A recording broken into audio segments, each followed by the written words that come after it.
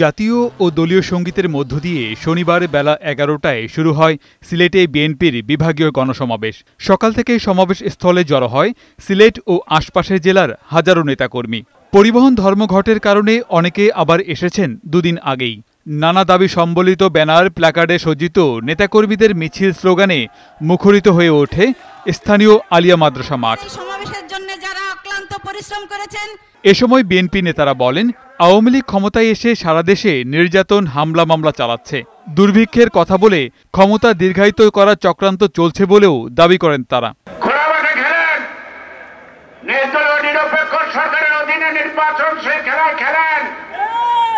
আমাদের এই ডিভিশনের প্লেয়ার লাগবো না। আজকে আবার সময় এসেছে। আমরা এই দেশে পুনরায় আমরা গণতন্ত্র কায়েম করব।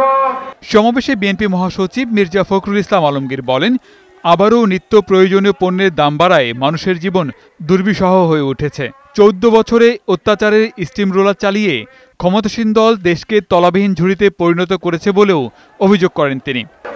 স্বপ্নকে ভেঙে কনফার্ম করে দেওয়ার জন্য এই হাসিনা সরকারের বিচার হবে জনতার আদালতে বন্ধুগণ। তত্ত্বাবধায়ক সরকারের অধীনে ছাড়া বাংলাদেশে কোনো নির্বাচন হবে না। যারা এর বিরোধিতা করবে তারা গণশত্রু হিসাবে স্বীকৃত হবে বন্ধুগণ। আগামীতে সাম্য মানবিক মর্যাদা ও সামাজিক মূল্যবোধের সমন্বয়ে জনগণের সরকার গঠন করার কথা জানান বিএনপি মহাসচিব। আমরা আমাদের সরকার, আমরা তৈরি করতে চাই। ভয়ভীতি উপেক্ষা করে সরকার বিরোধী আন্দোলন সফল করতে নেতাকর্মীদের প্রস্তুত হওয়ারও নির্দেশ দেওয়া হয় গণসমাবেশ থেকে।